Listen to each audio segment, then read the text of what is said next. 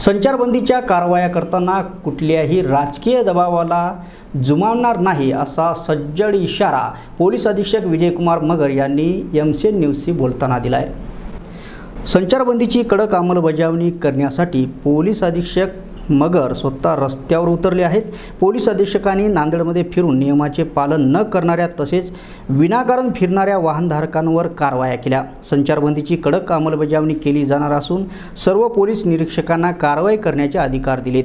त्यात कुणीही दक्कल देऊ नये. कुठलाही राजकीय दबाव जुमानला जाणार नाही. गाडी सोडण्यासाठी कुणीही फोन करू नये असा कडक इशारा त्यांनी राजकीय पुढाऱ्यांना दिला.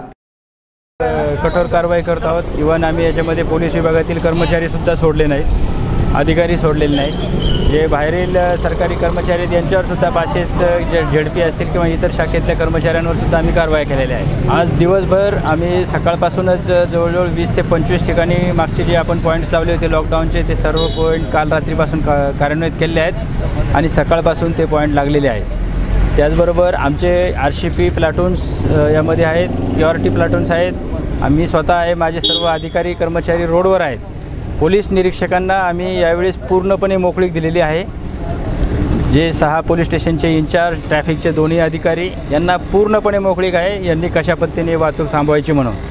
कोणताही राजकीय किंवा कोणताही दबाव यावेळेस आम्ही घेणार नाहीत. आणि कोणी त्याच्या पद्धतीने प्रयत्न करू नये. मोबाईलचे फोनसुद्धा करू नये. गाड्या पकडल्यानंतर बोलू नये. कारण आम्ही ज्यावेळेस रस्त्यावर येतो हा अत्यंत धोकादायक प्रकार आहे. माझे आठ पोलीस कर्मचारी आज करोनाग्रस्त आहेत.